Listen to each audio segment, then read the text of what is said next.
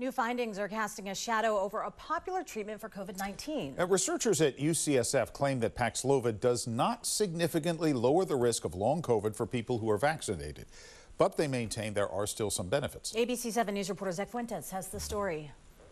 Paxlovid has been a treatment known to work for high risk, unvaccinated people with COVID, but until recently, not much was known about whether it could protect vaccinated, low risk groups from getting long COVID. The earlier evidence suggested there might be a benefit in preventing long COVID. But researchers at UCSF said their newly released findings show that using Paxlovid to prevent long COVID might not be effective. Our study, as well as two other um, really well done studies now, have come out with the same results using slightly different approaches. And so I feel pretty confident that together our studies really suggest that they're that Paxlovid unfortunately does not really prevent long COVID. Dr. Matt Durstenfeld said that they surveyed thousands of volunteers who were vaccinated and didn't have COVID before Paxlovid came out. They surveyed the volunteers once they were infected and then later again after they took Paxlovid to see if they had long COVID symptoms. Taking Paxlovid at the time that you have COVID um, the during the acute infection does not seem to be uh, associated with a lower risk of having long COVID down the road among the people who are already vaccinated and having their first infection. Dr. Durstenfeld said that researchers also found a higher than expected number of patients getting COVID rebound symptoms after taking Paxlovid. We reached out to Pfizer, who makes Paxlovid. They sent us a statement that said, in part, we are continuing to monitor data from our clinical studies and real world evidence and welcome independent research and academic discourse on long COVID.